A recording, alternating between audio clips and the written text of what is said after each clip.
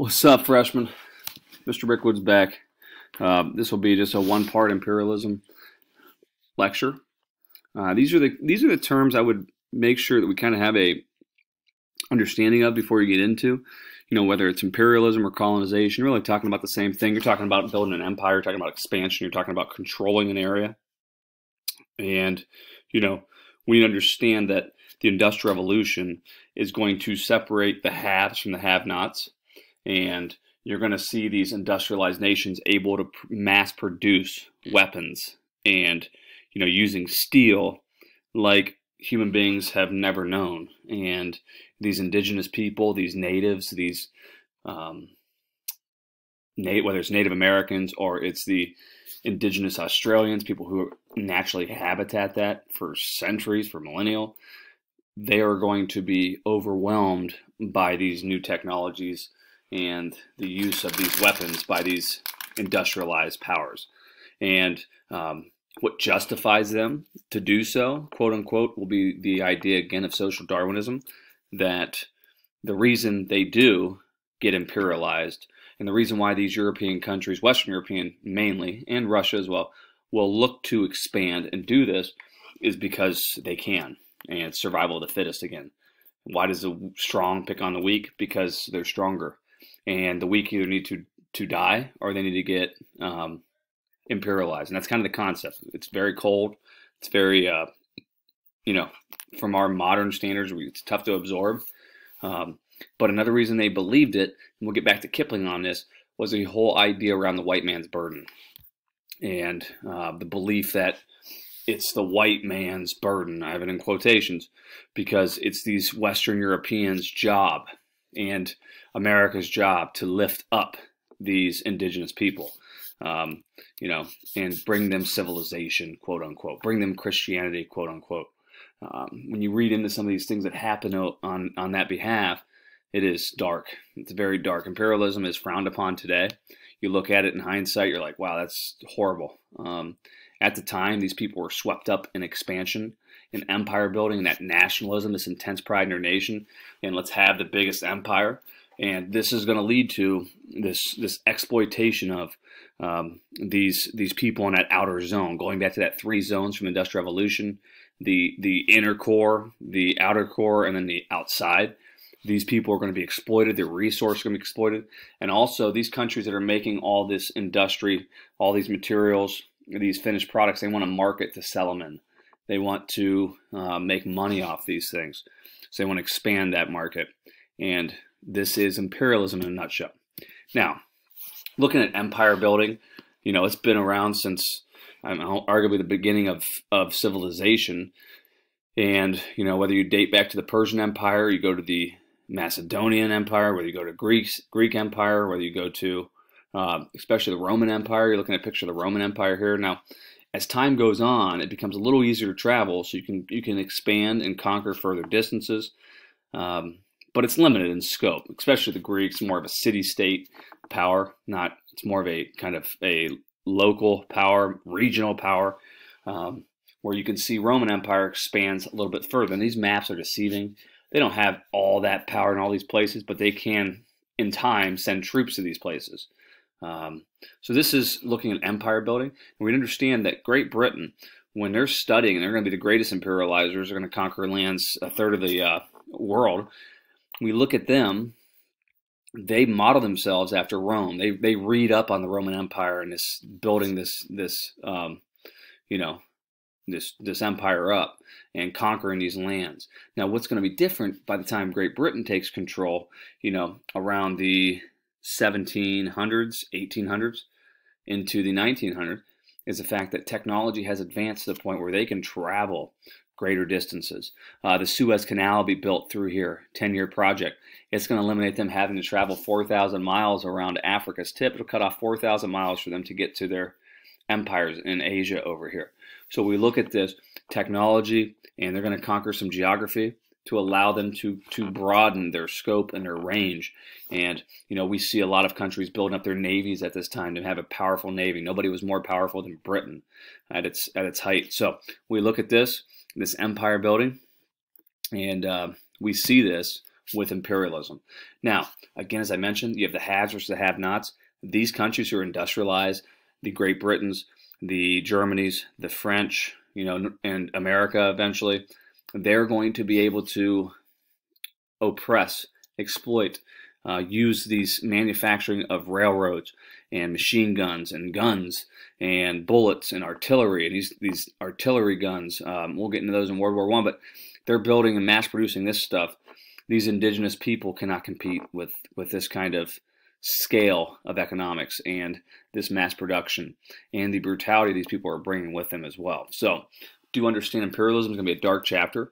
Um, as I mentioned, those who industrialize are going to be superpowers. Um, they're going to be able to dictate world events at the time, and you know because of that. Now we see England over here, and you know hopefully you're looking at this, and you're you're looking at how you know the top hat, the industry. That's what that's representing.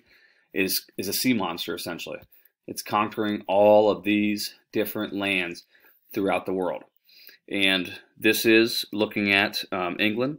They will be the best at it. Um, and they want reasons why. They want raw materials. They want markets for goods. They want to set up military bases to protect those markets and those investments. They want to spread Christianity. Missionaries will be spreading, traveling across the world. So you see all these different reasons for why people are imperializing and they're trying to get wealthy and they're trying to get really wealthy off the backs of others. It's a, again, it's a dark chapter. If you look into it, it'll be darker than I even talk about. Um, you know, we have Belgium. They'll be going into the, the heart of Africa, the Congo, and they are going to kill 10 million Africans. Um, so we look at this stuff. It's just, it's just, it's, it's horrible. Again, based off modern standards. Now, again, going back to the thesis, the argument, we can make the argument that, and this goes back to Tom Standage, the book, you guys saw how coffee led to revolution. Another drink, a beverage that changed the course of history, was actually tea. And we see how it changed the course of history. Um, tea and imperialism go hand in hand because workers in the 18th century, 1700s, they will start consume tea and you know it sharpens your mind. It kept workers alert on you know long and tedious shifts, and it built up natural antibacterial properties also in tea, which will reduce the prevalence of waterborne diseases. So infant mortality declines, life expectancy goes up, and you know people are drinking this stuff. They're consuming it like they're consuming coffee, and they want more of it. Now the problem is, is it's coming out of China. Now, as I mentioned before, China was more advanced than Western Europe for for centuries. And um, a lot of our modern, you know, technology we use actually came out of China. But we see that what the problem is is China's so advanced, all the industry that England's making, all these goods in their factories, China doesn't want them. They don't want these. They, they look at them as an inferior product.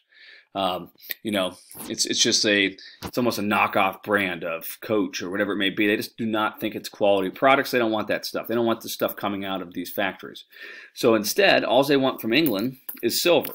So what happens is England's the Englishmen they start to buy tea um, and they start to fork over, you know, millions, billions of dollars in today's money of money to get tea. So they're forking over silver for tea. And we see here is we, we have a trade deficit in England. England realizes they're going to be out of silver if they keep purchasing tea. So they have to find a way to get this money back into England. So what are they going to do? Well, they're going to take over a country um, back in the 1763 after the Seven Years' War. They're going to take over a, a area known as India today, and they're going to conquer this region, and they're going to do it very brutally. And while they're in India, they are going to um, eventually, in, in, by the mid 1800s, early 1800s, they're going to start growing a crop in India, in Bengal, India, India, called opium, and they're going to grow that crop, and then they're going to smuggle it into China, and um, they're going to start to sell uh, this this opium for silver from the Chinese who are going to get very addicted to this stuff. It's like I said, it's the natural uh, or the main ingredient of heroin, so we know it's highly addictive. And you're going to see many Chinese uh, people start to get addicted. Um, it gets real bad. They have opium dens where they're just sitting smoking and getting high all day. And the Chinese asked the English to please stop sending this opium over. And the English are going to continue to do so. Um, we actually had like a president, former president, his grandfather, Franklin Delano Roosevelt. He actually was a drug dealer. He actually would um, go into a port over there called Canton, spelled the exact same way as Canton, and he would he would drop off this opium in cover of darkness, and he would you know make money and get out. That's how a lot of that's how the Roosevelts made a shilling um, off this opium trade. And we see other Europeans and Americans doing this, selling this stuff over there. And the Chinese actually get so fed up with it um, because they see it's destroying their country. They actually go to war. Uh, they declare war on the British in 1839. And it's known as the first of a few opium wars. And what you'll see happen is, is the English are going to destroy um, the Chinese militarily. You know, the Chinese have fallen behind militarily. They don't have the industrialization. They haven't gone through the Industrial Revolution where these Europeans have. And what happens is, is they get defeated easily. And there's, there's a famous story where 29 Chinese ships, warships, show up to go fight the British. The British just have two ships, and they get crushed, the Chinese, um, because the ships are just more advanced from the British Army. And they're using, you know, guns that are, can outrange, outgun, um, outmaneuver, and they have, obviously, they're made with thicker um, iron and steel. So we see this, and this is um, this is going to lead to the Opium Wars, and we'll see the Chinese are defeated, which then England will get more um, strict and get more stuff out of China, and um, it'll lead to other European countries demanding a piece of China as well. And we can see, um, you know, the Queen of England actually, and we got Germany, and we have Russia, we have Japan, and we have um, England looking, I'm sorry, France looking on. So we see this is looking at the spheres of influence you didn't know as, and this is where other countries, they want to market in China as well. They want to sell their goods. They want resources from these areas. And you can see Britain gets the large portion. Uh, you can see Germany's going to be later to the table. And you can see that if you're looking at this, the Chinese are begging them, we have a caricature of here. We have the Chinese begging, please stop, as they're carving up the the pie, the pizza um, of China. And we have some aggression going on here as well. Knives are drawn, um, and people are studying what part they get of China, and China doesn't really have a say. And it's really capturing that spheres of influence. This obviously is 1910, um, but this is going on in the late 1800s um, when other countries want a part of this as well. And you're going to see America get involved as well. And what happens? Well, the Chinese are going to get fed up with all these foreign influences, so they're going to have something known as the Boxer Rebellion, where they're going to attempt to push out foreign devils, they called them, these, these Christian missionaries, these Catholics and uh, Protestants trying to bring their religion within China, changing their culture. So you're going to see these boxers. They're called themselves, by the Western, they're called the, uh, the boxers. They're actually called like the Harmonious Fists. Um, they were called boxers by the Western press because they, they would, you know, practice martial arts and, um, you know, uh, kind of, I'm um, somewhat, I don't want to say train like a boxer, but they kind of had that kind of physique, and they're going to start to spring up and they're going to start to slaughter a lot of these Western missionaries, these Christians who are trying to spread the Christian faith, these Europeans, and they're going to actually siege a city, and you're going to see these these outside countries, um, I'm sorry, these outside countries actually bring in combined armies and they're going to crush the boxers. The one thing about the boxers, they thought they were um, impervious or invincible to bullets, and they are going to obviously not be. Um, it'll be put down and it'll lead to even more oppression towards the Chinese. So um, this is the China, and this is, you know, the great Asian power falling to these European hordes, um, uh, barbarians, quote unquote, coming in and taking um, advantage of their weak state militarily. One other country is going to be late to the scene, but they want to have a market in China as well. You don't see them here on this map. Will be um, the United States. These two political cartoons kind of capture that. You got the United States. They want to open the door, and it's going to be known as the open door policy. They want to open their door into China as well, um, trying to get access to the trade markets. We will see them get open that door when they go to the uh, in the Spanish American War. You'll say that more. You'll say that next year Uh, America goes to war with Spain, and as a result, they get their Spanish um, empire. They get they're going to take the Philippines from them, which is just south of China. And the reason why the United States wanted that because they have a um, springboard into Asia. So we see um, this is looking at the open door policy. It's known as, um, and as I mentioned before, we have you know Great Britain that the sun never sets on the British Empire the blood never dries. It was a kind of quote back then. You can see how much influence they had throughout the world. Now, again, we look at these maps, they're deceiving. They don't have as much power as maybe you see here, but they do have a lot of influence in these regions. And again, they're looking to set up markets. They're looking to set up, um, make profit off these places. As I mentioned in 1763 with the Treaty of Paris, after defeating the French in the French and Indian War, they're going to get access to the um, southern part of Asia, looking at India. So we can see, and this to be the crown jewel, they call it, of the British Empire.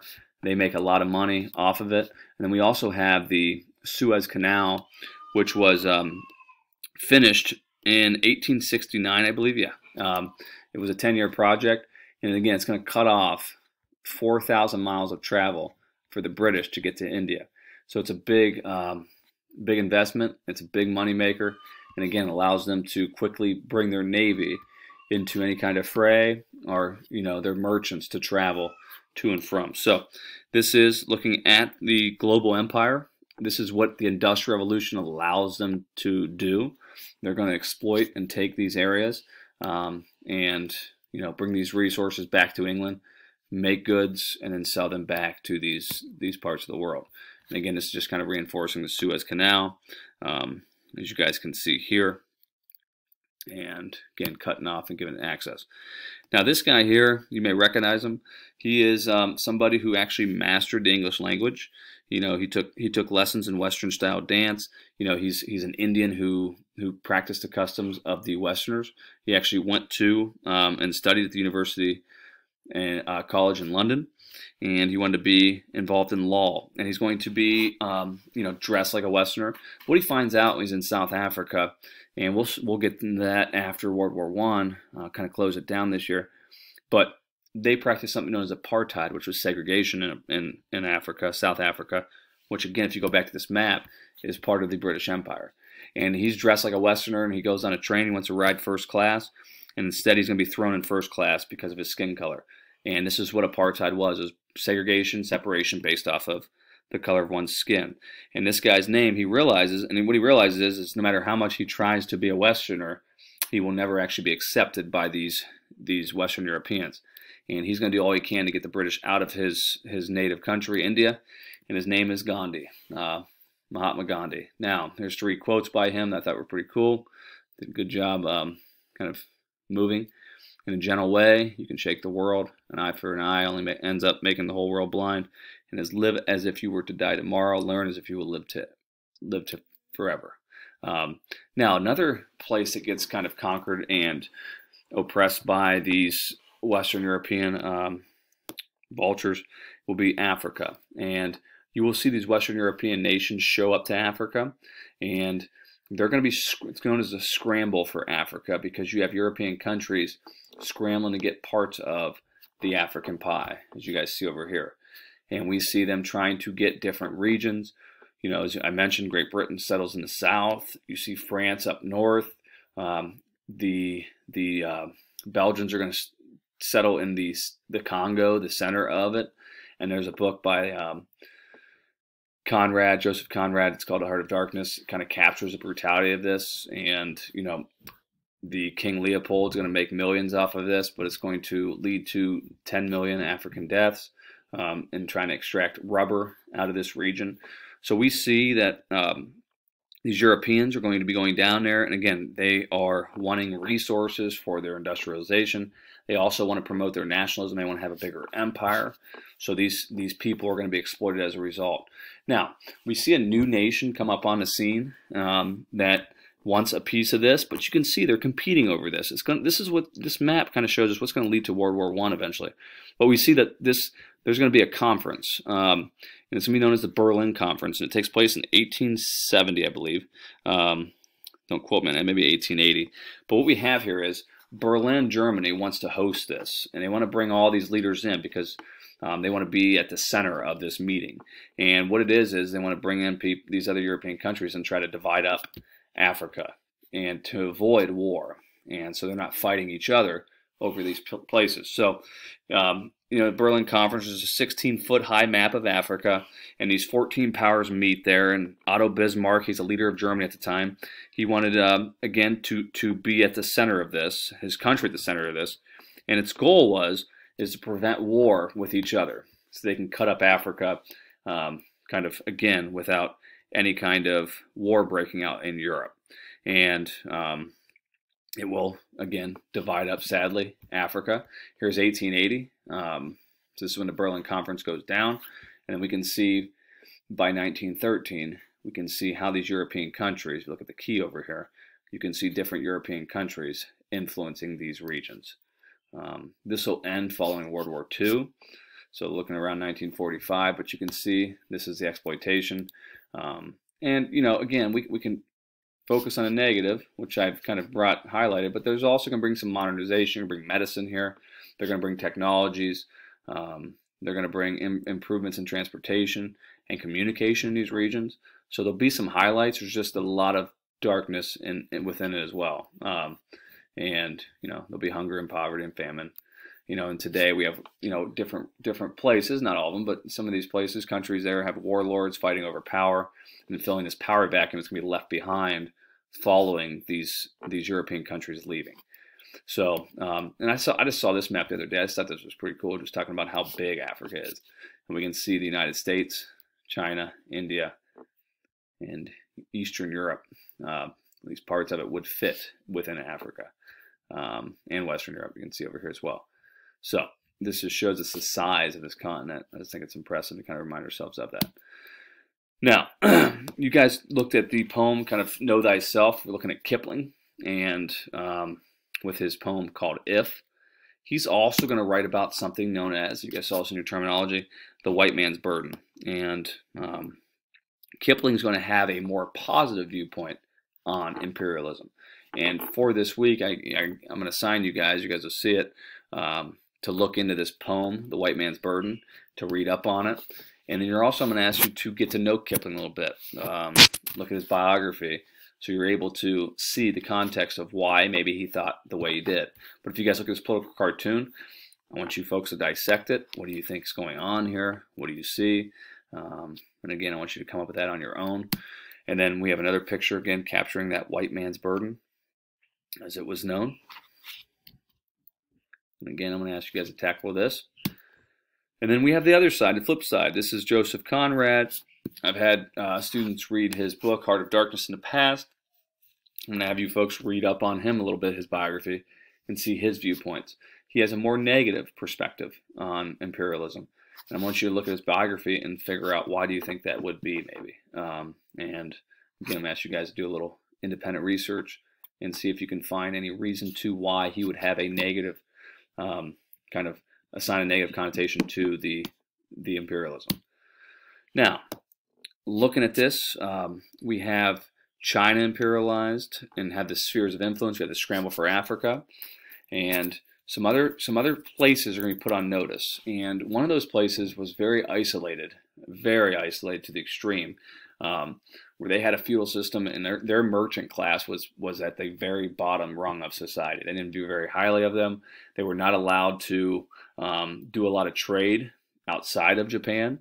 These merchants and they really kind of um, they really isolate themselves from the outside world and they they followed this samurai class they were not unified at all and they would only open trade with one european country the dutch also known as the netherlands um, twice a year and they would come into a port city um, in japan they would bring these goods and the, the japanese liked these goods but they'd bring them in this this one city, uh, this port city known as Nagasaki, um, twice a year. You may have heard of it. It's also the city that gets the second atomic bomb drops on in World War II down the road.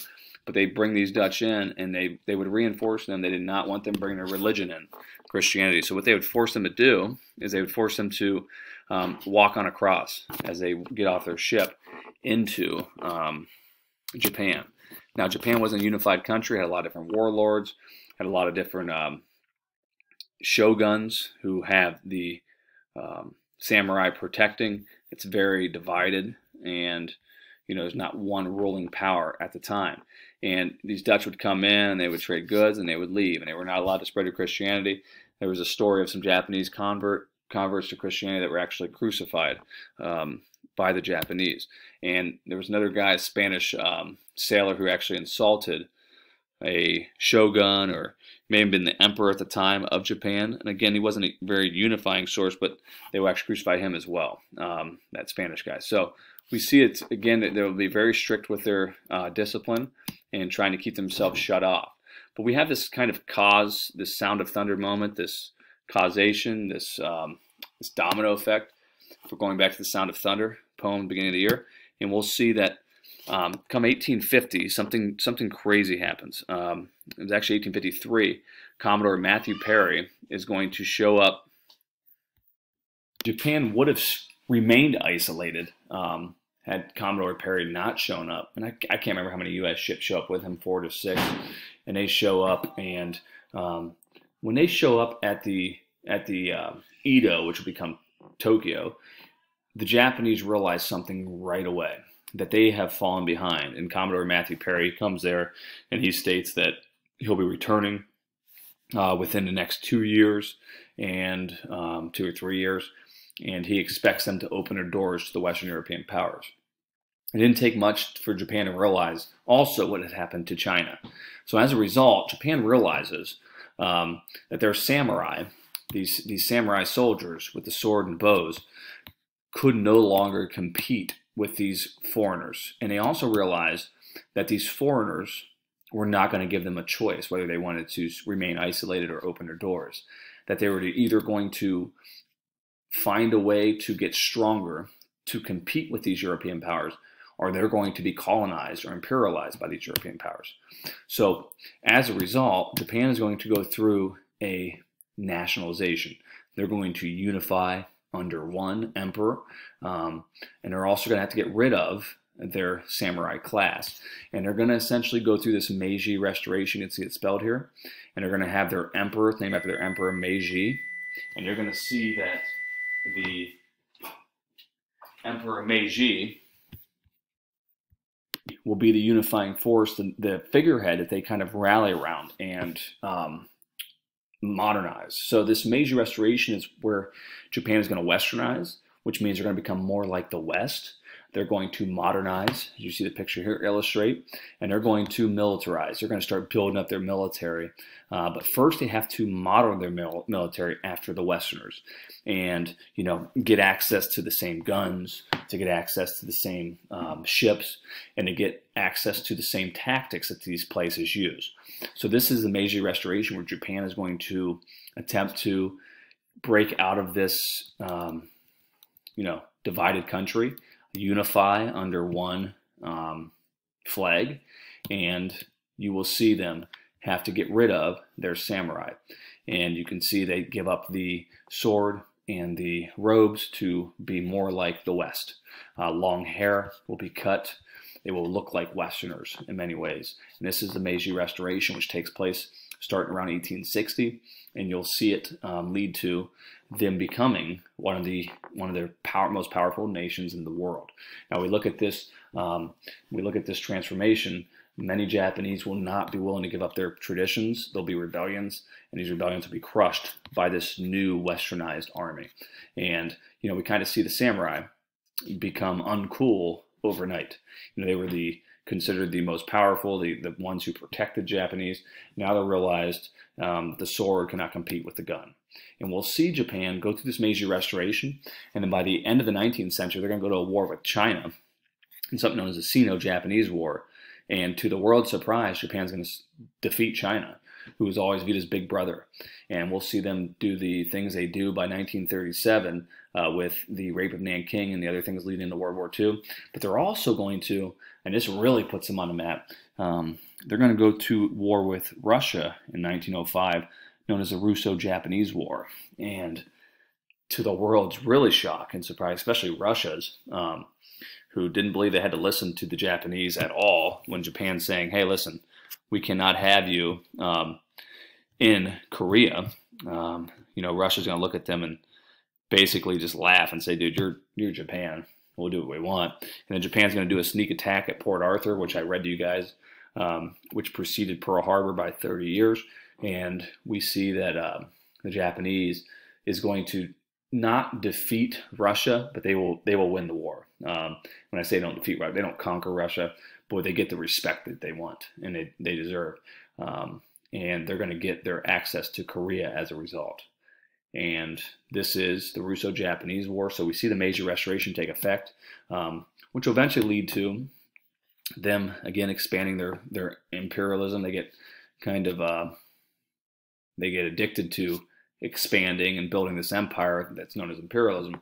They'll eventually try to knock America out of the Pacific with the attack at Pearl Harbor, um, but we'll see eventually that leads to um, the defeat of Japan with the dropping of the atomic bombs. So that is looking at Japan, really quick Sports Center version. Um, we also have going on, kind of gives a precursor to the, the worst war in human history up to the point. We also have 1870. Um, that's not the worst war, but we have in 1870, we have the Franco-Prussian War, and Prussia is German. Um, and we're going to see the French and the Germans are going to go to war. And what happens is you will see the French still using outdated cavalry charges, um, in Germany using more advanced railroads and more advanced cannons. They're going to overwhelm the French. They'll embarrass the French, and they will march through Paris. Um, the leader of the French at the time of the Franco-Prussian War of 1870 is going to be a guy by the name of Napoleon III, um, be the grandson of Napoleon I. He's going to attempt to restore France. He wants glory, um, but he's going to find out that the Germans, the Prussians, are no they're no match for the Prussians or the Germans. Um, and you're going to see, you know, he realized during the last battle he has a kidney stone large as a pigeon's egg, and he mounts a horse and charges through shell fire, hoping to die, but instead he gets captured. And um, Napoleon III, just remember that because when we get to World War One, when they surrender, if you guys remember, the French are going to have them get a train car.